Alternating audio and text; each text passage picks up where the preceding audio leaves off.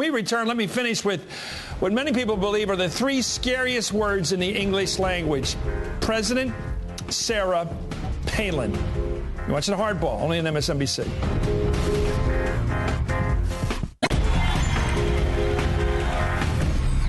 Let me finish tonight with the fact that for tens of millions of Americans, and not just Democrats, the scariest three words in the English language are President Sarah Palin. Those words could, if events go a certain way, get a hell of a lot scarier. I've noticed how Palin has been positioning herself as the Christian woman in national Republican politics. This gives her an incredible leg up in the first in the country Iowa Republican caucuses, where the Reverend Pat Robertson once triumphed.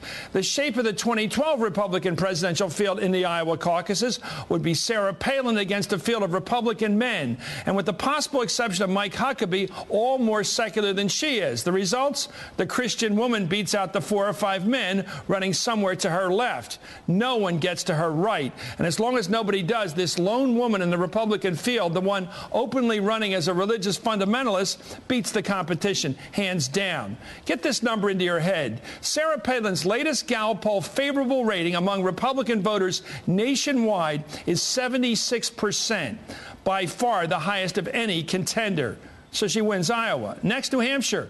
Even if Mitt Romney outpolls Palin in the Granite State, it will be a fact dismissed by the national political press. Why? Because New Hampshire is the Boston media market. It's right in it, and therefore it's seen as home base for the former Massachusetts governor.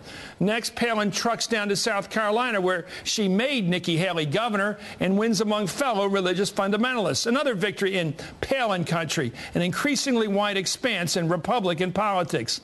Now for the knockout. Palin has said that Michigan Michigan, where Romney's father was governor, was overlooked by Republicans last time. She started her book tour there. Republican women who lined up to buy Going Rogue are her first round of investors. With two or three men besides Romney still appearing on the ballot, she pulls it out in Michigan.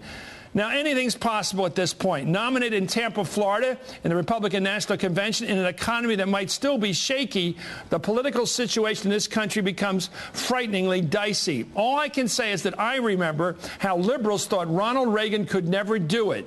As we learned in 1980, tough times yield surprising, yes, scary election prospects.